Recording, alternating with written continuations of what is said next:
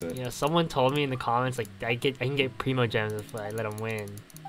No, no way. Yeah, I Why would you ever let him win? I know, but but like Baal's coming up and I need her weapon. C2 would be hype and like you know I'll hype them's next patch as well. Like, dude, like these uh, primos could be like crucial.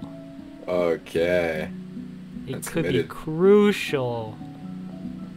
So crucial. I hear you. Wait. Oh. He's just too fast. yeah, speed up a little bit. Maybe next week. Maybe next week we'll get those five primo gems. Maybe next time, champ.